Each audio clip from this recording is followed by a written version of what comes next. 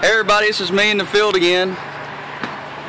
And I'm here with my buddy Mike Penley. He works at Advanced Comfort Systems at 72 Degrees, aka he is the man. Hey brother, Hey, how's it going, man? give me the top reason why someone should train with Service Excellence Training. Because Todd's good. I didn't give you any time to prepare. All right, well give me one thing I'm good at so they'll know what you're talking about.